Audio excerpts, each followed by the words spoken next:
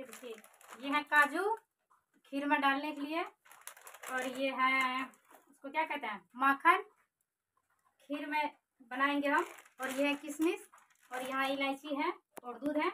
हम यहाँ खीर बना रहे हैं क्योंकि आज मेरे घर में पूजा है और पंडित जी के लिए साबुदाना के खीर बना रहे हैं हम।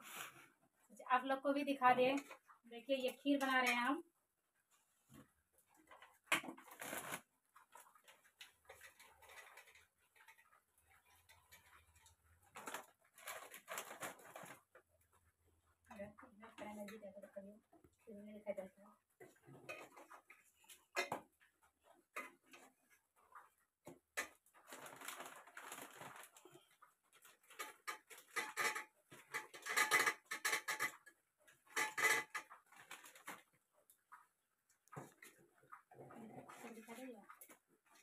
हम्म।